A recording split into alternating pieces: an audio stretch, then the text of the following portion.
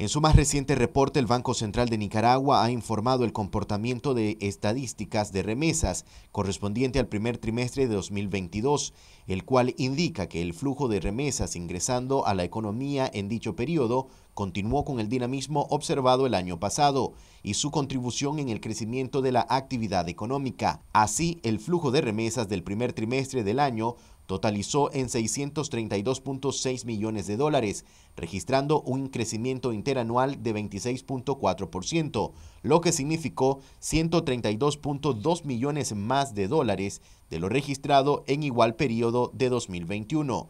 Los principales países de origen de las remesas recibidas en el trimestre continuaron siendo encabezados por Estados Unidos con el 70% del total, seguido de España, Costa Rica, Panamá y Canadá. En el primer trimestre se recibieron remesas procedentes de Estados Unidos por un monto de 442.8 millones de dólares, los cuales registraron un crecimiento de 44.5% respecto al periodo de 2021. Por su parte, las remesas procedentes de España sumaron 70.2 millones de dólares en el trimestre, reflejando una disminución interanual de 9.1% respecto al año pasado. Los flujos procedentes de Costa Rica totalizaron 69.1 millones de dólares, siendo 3.4% mayor que lo registrado en el mismo periodo de 2021.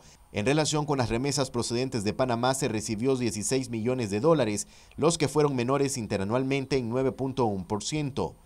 Finalmente, el informe indica con respecto a la distribución del flujo de remesas recibido en el trimestre que el 71.8% se concentró en seis departamentos del país, siendo Managua el principal departamento de destino con el 28.5%, Matagalpa 9.8%, Estelí 8.7%, Nueva Segovia 7.2% y León 6%.